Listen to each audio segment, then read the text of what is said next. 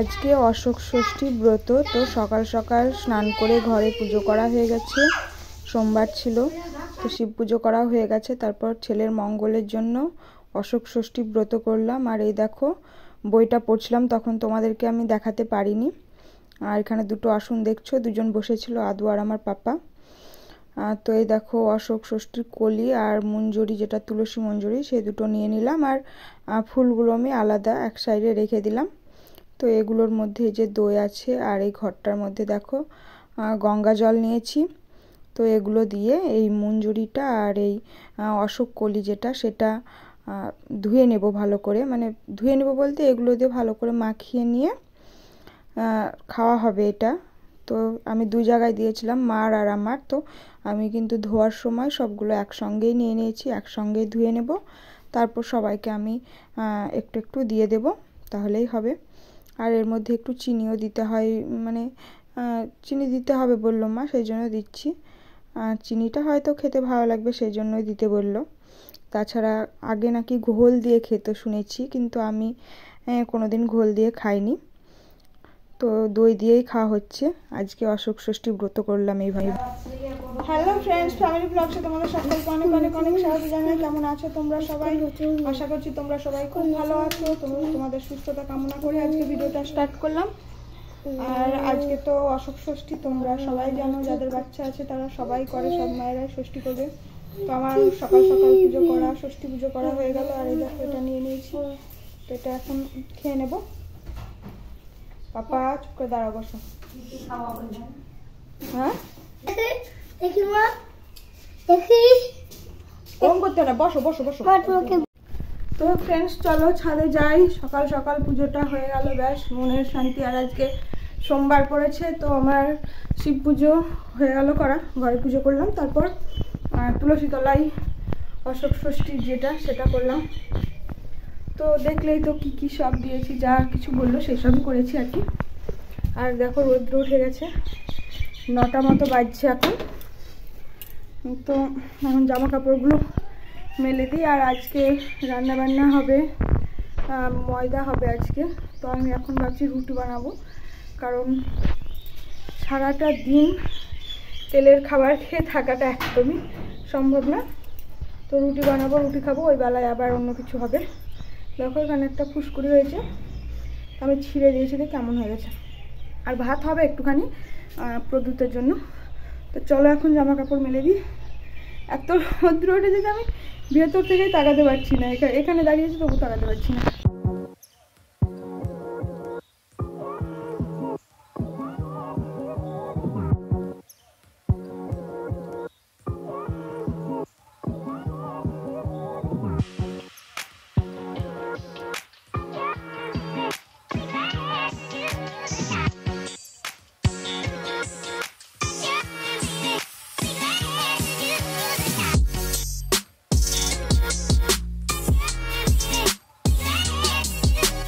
আর এই দেখো ফ্রেন্ডস আমি রান্নাঘরে চলে এসেছি। তো শাড়ি পরে লটর বটর করছিলাম।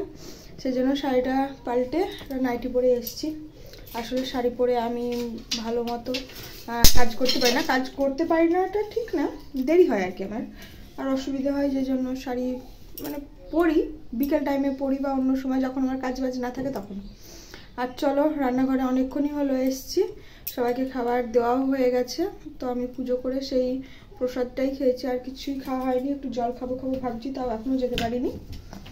তো এখন আমি কি রান্না বান্না করছি, কি রান্না হলো, চলো আজকে দেখাই, আর এগুলো হয়ে গেলে সব নিয়ে চলে যাব, তারপর ভাত বানাবো। প্রদুত খাবে তো, পাপাও খাবে একটু।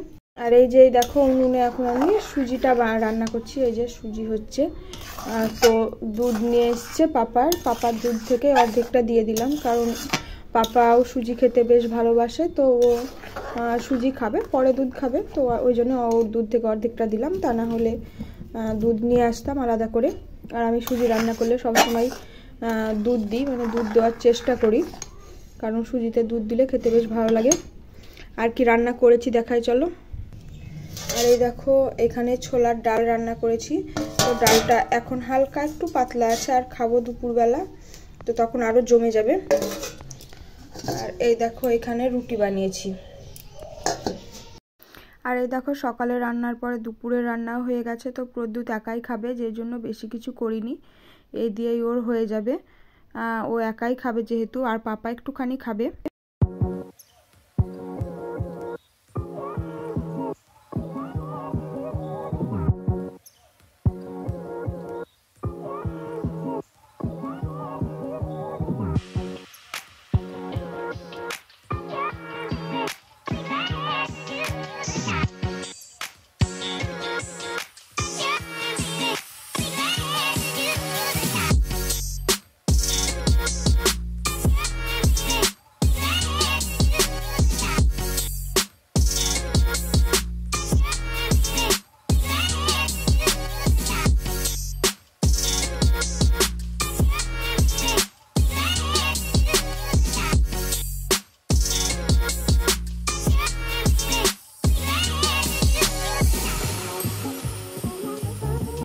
তো গুড নাইট ফ্রেন্ডস দুপুরের পর তোমাদের সঙ্গে আর কথা বলাই হয়নি আর এখন রাত্রিবেলা চলে আসলাম। আর তাছাড়া কি কথা বলব বলো? আজকে সারাদিন ওই একই পেঁয়াজের কাজই চলছে। আর এই যে এখন দুধটা মারছি আর এদিকে আমার পাপা কি করছে দেখো? আর এখানে গোকুল বড়া হবে সেই জন্য রসটা বসিয়ে দিয়েছি। তো আমি এগুলো করব আর বড়াটা মা ভাজবে গোকুল বড়া ভাজবে সেটা মা করবে। আর এই দেখো মোয়াটা আমার হয়ে গেছে একটু নেড়ে চেড়েই নামিয়ে নেব। আর এই যে মা গোকুল বড়া ভাজতে শুরুও করে দিয়েছে। আর আমি এক্ষুনি এখান থেকে মানে ওঠানো হলেই কয়েকটা নিয়ে চলে যাব। প্রদ্যুৎ আর পাপা অপেক্ষা করছে, তো আমরা এখন বসে বসে খাব। আর এই দেখো, বলতে বলতে নিয়ে চলেও এসেছি আর দেখছ, সব টপাটপ তুলে নিচ্ছি। এখন খাওয়া হচ্ছে, আসলে ভাজাটাই বেশি ভালো লাগে। আর এই যে, এই আজকের আমাদের রাত্রের খাওয়া দাওয়া বসে পড়েছি খেতে সবাই। তো ভালো থেকো সবাই, আবার দেখা হবে নতুন একটা ভিডিওর সঙ্গে। টাটা!